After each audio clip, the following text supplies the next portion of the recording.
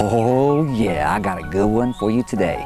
Cap-A-Treads. Yep, I got one going wall to wall, and I got one at the bottom that has an open-ended return. I'm gonna show you how to put this baby on today. Let's go.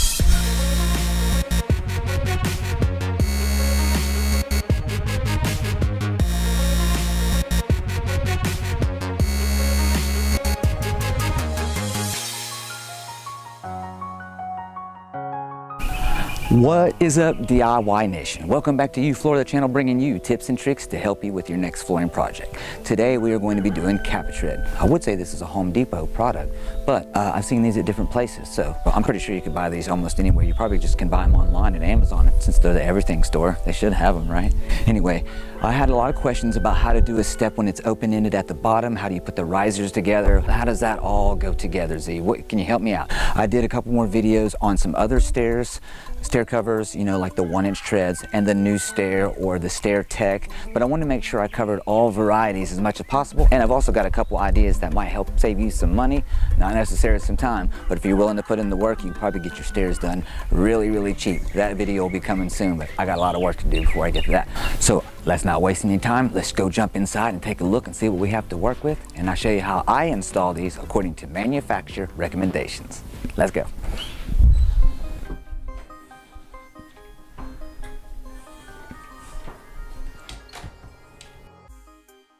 Alright, take a close look at this set of steps. You'll notice whoever built them used two 2x6s on the top two steps, but they used 2x12s on the bottom three steps. In case you're not familiar with lumber, that means the top two steps are only 11 inches deep, while the others are 11 and a quarter inches deep. That may be okay for carpet, but not for custom built steps. So, since I had my table saw already out, it made more sense to cut two quarter inch first strips and nail them on the front of the two top stairs, as opposed to cutting off the nose of the bottom three steps. What a pain that can be. Looking good. Next, I want to check the overhang of the nosing on all of them, and it looks like we're at 3 quarters of an inch. Now, since I started at the bottom, and since this bottom step does not go wall to wall, I want to take plenty of measurements, side to side, as well as front to back. I want to make sure that my tread is sitting on top of the riser all the way around. With this baseboard being so small, I don't see any reason to try to scribe around it. It's just going to be a whole lot easier to take it off, cut a little bit off of it for the perfect fit. After I figured out roughly about how wide each riser would be, I went outside and cut them roughly about an inch longer.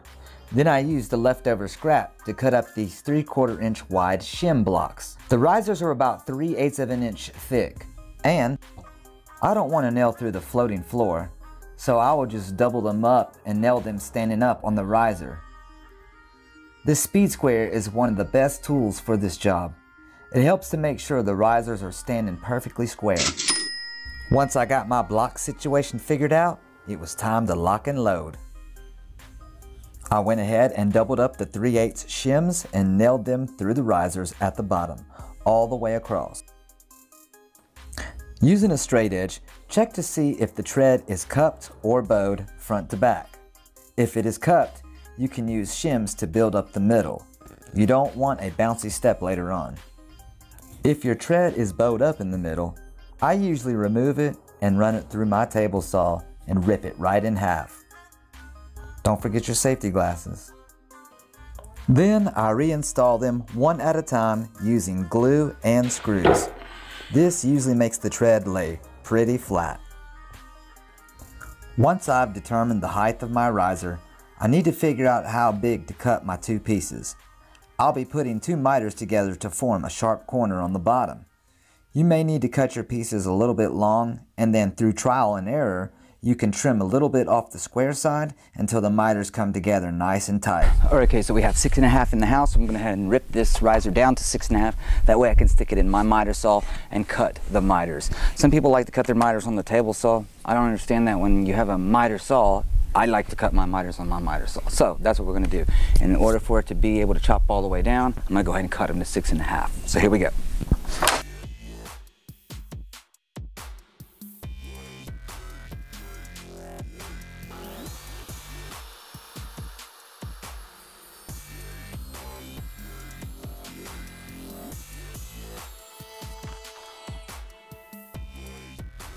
And also I wanted to mention that after you cut these off, these are perfect for the little block that you need to put down on the stair uh, to run your riser down to, and then you can just nail it. All right, let's figure this out.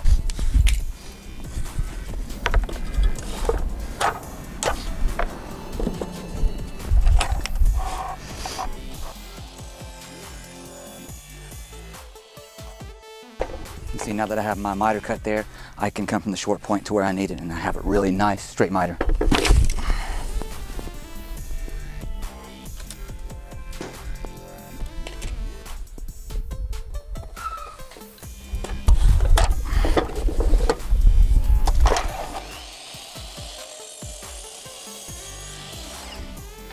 So I'm gonna go ahead and cut my miter right now. See where we are. Nice, tall, straight, here we go.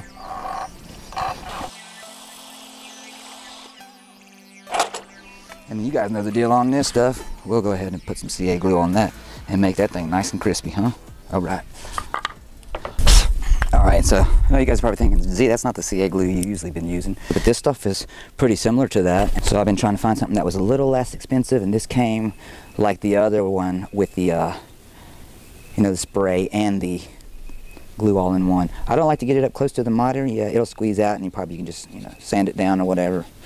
But it'll squeeze up in there. So I try not to get it close to the edge up here. But shoot, that'll hold, huh?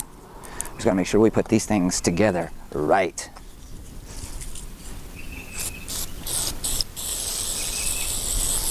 Hmm, we're about out of that stuff. Might need to reload up on that. So let's make sure we, when we touch these, we ain't got about about eight seconds and then we're stuck. So I just need to make sure you're good before she dries up. I like that right there. That's looking good. So we'll count to eight. One, two, three, four, five, six, seven, eight. Boy, look at that. That's pretty crispy, huh? Y'all better get you some of that CA glue.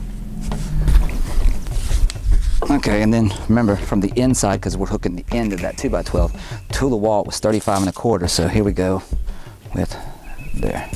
Go in there. All right.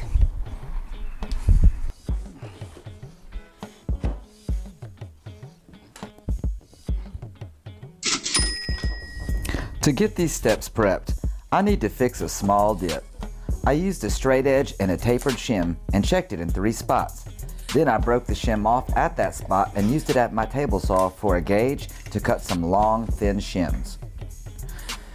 I glued the shims down and used plenty of glue under the shims. Once I smash the step down, it will spread out and fill in between my shims, then it will be rock hard for full support and adhesion once cured. The steps come inside a cardboard box, a little bit bigger than the step. If you have a straight edge and a razor knife, you can cut them the depth of your treads and use them as templates for the perfect step. I took measurements from the outside of my riser to the wall, and I cut my cardboard about a quarter of an inch short. Using my hot glue gun and a square piece of cardboard, I glued it down tight to the back of the corner and the side wall. This will help in case my wall is a little bit out of square. This edge right here is where we'll be nailing our nose piece on, so it needs to be flush with the side of the riser. This edge of the cardboard is where we will line up that piece.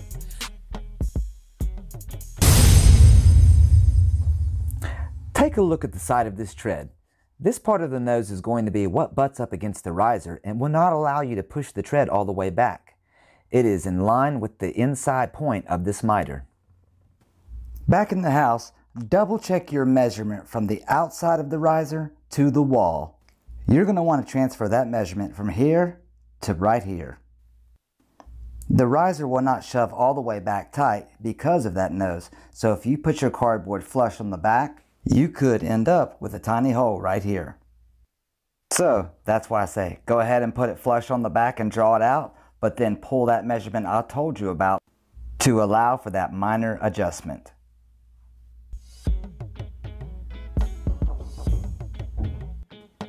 Now if you don't have a table saw or you're not comfortable cutting free-handed, I have found that the best tool for this is a sliding miter saw. And if you don't have one of those, you probably can just go rent one. But I have also used a straight edge and a razor knife just to break the skin and then I cut them with a jigsaw.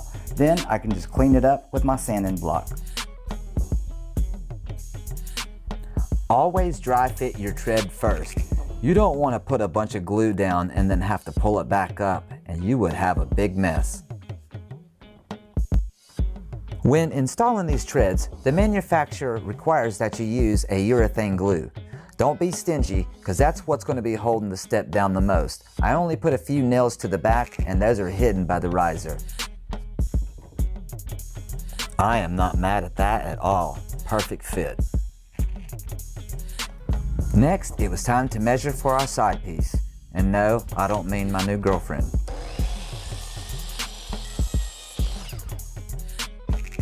Six and three sixteenths to the short is what we had in there.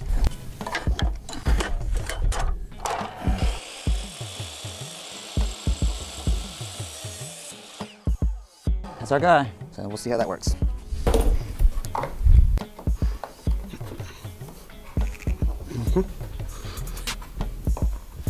With the nose piece cut to fit, it was time to put some glue on.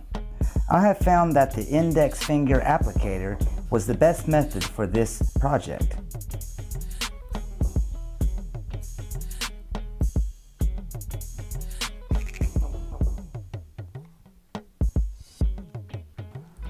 I put one nail in it and used tape to hold it tight and flush the rest of the way.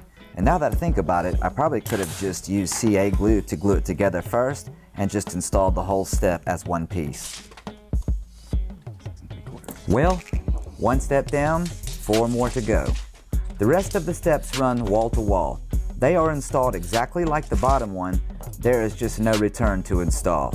And they do not take as long. Installing these steps this way stops you from having to cut the nose off of every step.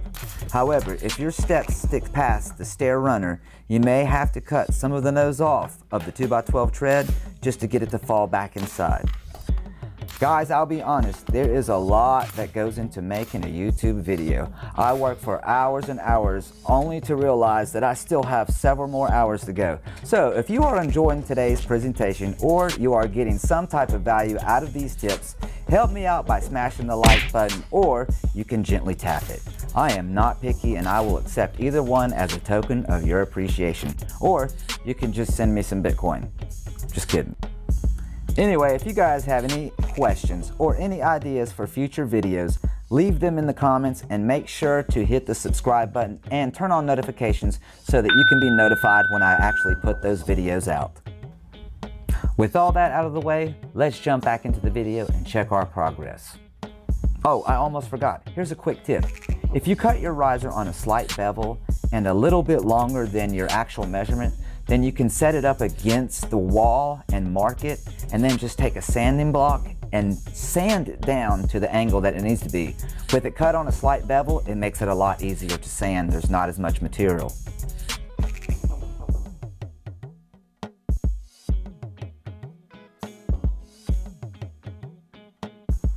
Well guys, we made it to the last step and we have one more riser to put in. Thank you to those who stuck around to the end, and for those of you who didn't, you're not going to know how to put the stair nose on.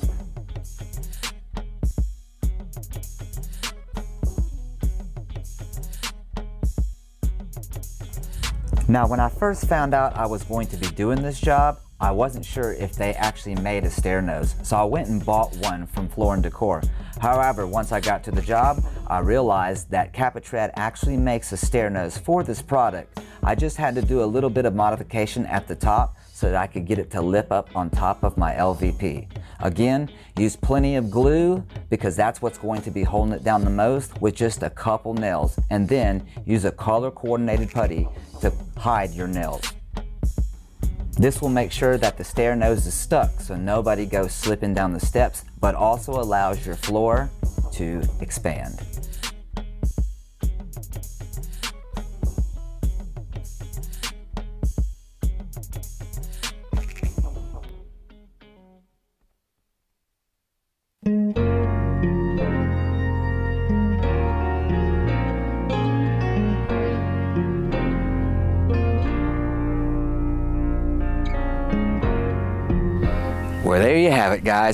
That is how I install Cap-A-Tread stair tread covers. Hope that brought you guys some value and I hope you learned something today. I think I learned a couple things today too.